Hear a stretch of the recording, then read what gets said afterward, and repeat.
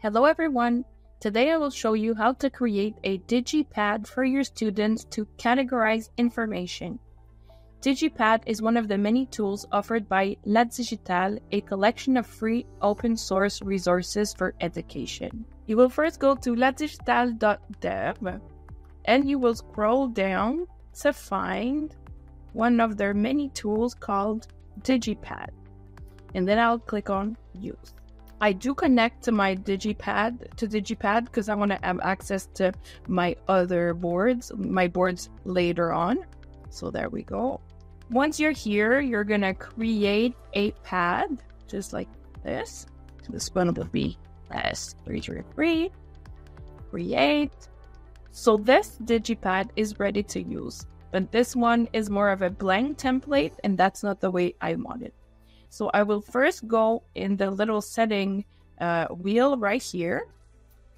Here I can find, first of all, I could change the title of my pad if I needed to. I have the link and QR code if I wanted to share it with my students. And then I can decide if this access to the DigiPad is public, private, uh, protected. Um, so you can go and change all of these little settings right here. For my board, I want it to be columns because I'm going to put different categories. The students have read different texts and I want them to I want them to categorize the information they have read.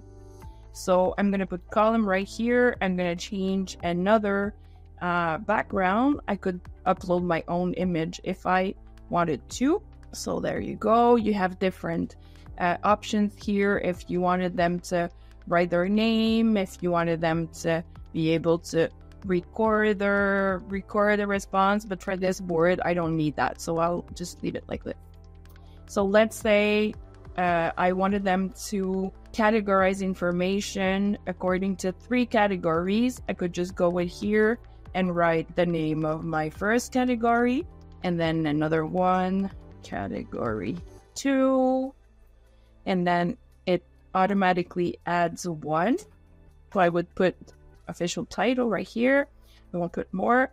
And when the students will enter my DigiPad, they will be able to click on the little plus sign right here and write the information they want to categorize. They'll write a title, they'll write text, they could even share an image um, or link if they wanted to.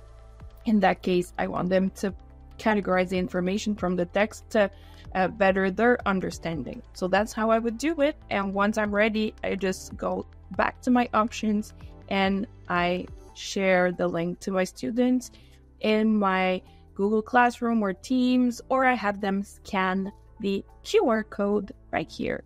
So I hope this was helpful